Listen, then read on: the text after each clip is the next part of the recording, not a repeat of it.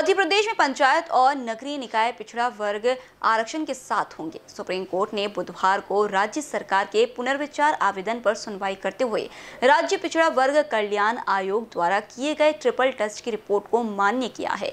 न्यायालय के इस आदेश के बाद महाराष्ट्र में राजकीय ओबीसी आरक्षण का क्या होगा? ये सवाल सामने आ रहा है।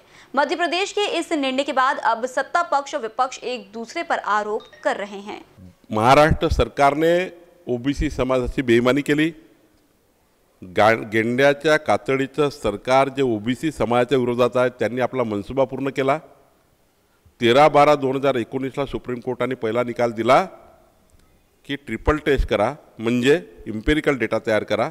गावागावामध्ये ओबीसी समाजाचा त्या ठिकाणी डेटा आणा. त्यावर पॉलिटिकल बॅकवर्डनेस म्हणजे राजकीय मागासले पण जाहीर करा. आणि आरक्षण घ्या. असं सुप्रीम कोर्टाने सांगितलं. सुप्रीम कोर्टाने आरक्षण थांबवलं नाही. सुप्रीम कोर्टाने सांगितलं असं करा. पण या सरकारने तेरा बारा एकोणीस ते आत्तापर्यंत पाच वेळा सुप्रीम कोर्टाने संधी दिल्यावरही पाच वेळा ताशेरे ओढले सुप्रीम कोर्टाने राज्य सरकारवर. तरी यांनी केलं नाही.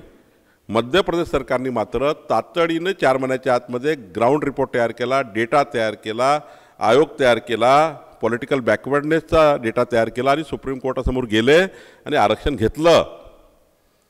पण यांनी बेमानी केली. यांना या सरकारमधले अनेक लोक असे होते ज्यांना धनदांडग्या लोकांना ओबीसी समाजाच्या जागेवर आणायचं होतं. आणि त्यांनी आपला मनसुबा पूर्ण केला. या सरकारमधली बेईमानी आता उघड झाली आहे आणि ओबीसी समाजांना आता सोडणार नाही. बी जे पी तुलनात्मक मध्य प्रदेश सरकारने काय केलं आणि महाराष्ट्र सरकार कुठं चुकलं?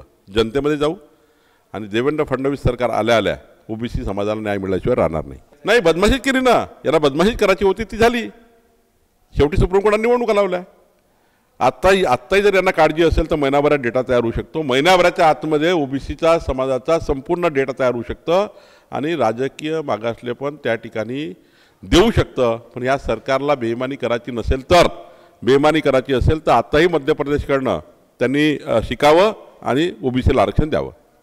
असं आहे की एकच आठवड्यापूर्वी माननीय सर्वोच्च न्यायालयाने एम पीच्या विरोधातसुद्धा निकाल दिला होता. एकच आठवड्यामध्ये त्यांच्या बाजूने निकाल आला आहे. तर त्यांनी कशा पद्धतीनं तो इम्पेरिकल डेटा दिला हे सुद्धा बघायला पाहिजे.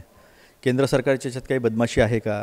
की त्यांनी त्याने इम्पेरिकल डेटा अवेलेबल करून दिला आणि महाराष्ट्र सरकारला दिला नाही हे सुद्धा आम्हाला बघायला लागेल. पण एक गोष्ट मात्र नक्की आहे की पन्नास टक्क्याची जी मर्यादा आहे ती मर्यादा काढावी अशी काँग्रेसची पहिलेपासून मागणी आहे. याच्यामध्ये दोन गोष्टी आहे की पन्नास टक्क्याची मर्यादा काढल्यानंतर एस सी एस टी आरक्षण आणि ओबीसी या तिन्हीचा प्रश्न जो आहे सॉल्व्ह होणार आहे. आज पन्नास टक्क्याच्या आतमध्ये जर आरक्षण ओबीसीचं सत्तावीस टक्के दिलं तर अनेक जिल्ह्यांमध्ये ओबीसींचं नुकसान होणार आहे. त्यांना त्यांच्या लोकसंख्येप्रमाणे आरक्षण मिळू शकणार नाही आहे. कारण की शेड्यूल्ड जिल्हे आहेत.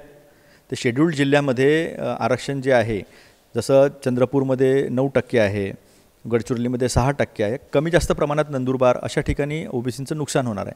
तर पन्नास टक्क्याची जर मर्यादा काढली तर ते नुकसानसुद्धा दूर होईल. राहता राहिला आता इम्पेरिकल डेटा तर तो आम्ही आयोग स्थापन केलेला आहे. आयोगाला पैसेही पूर्ण दिलेले आहे. कोरोना संपल्यामुळे आयोगसुद्धा कामाला लागलेला आहे. तो डेटा लवकरात लवकर आम्ही जो आहे तो सर्वोच्च न्यायालयामध्ये सबमिट करू. पण बघायला पाहिजे की मध्य प्रदेशचा डेटा जो आहे तो कशा पद्धतीनं कलेक्ट केला आणि एकाच आठवड्यामध्ये त्याच्यात काय बदल झाला हे सुद्धा बघायला पाहिजे. असं आहे की बावनकुळे साहेबांचं सरकार पाच वर्ष महाराष्ट्रात होतं. जे कृष्णमूर्तीचा निकाल हा दोन हजार दहाचा आहे. या महाराष्ट्रामध्ये हा प्रश्न दोन हजार सतरा साली उपस्थित झाला जेव्हा नागपूरच्या जिल्हा परिषदेची निवडणूक त्यांनी एका साध्या जी आरनी दोन वर्ष पुढे ढकलली होती. एवढं यांना ज्ञान होतं तर त्यांनी एक महिन्यामध्ये दोन हजार सतरा साली जर हा डेटा सबमिट केला असता मान्य सर्वोच्च न्यायालयामध्ये हा प्रश्न उपस्थित झाला नसता.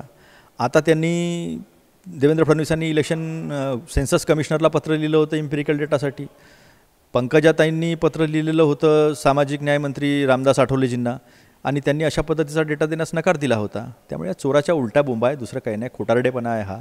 इथे भाजपचं सरकार नाही आहे याचं शल्य आहे. म्हणून महाराष्ट्राच्या जनतेला छळण्याचं काम जे आहे ते भाजप करत आहे.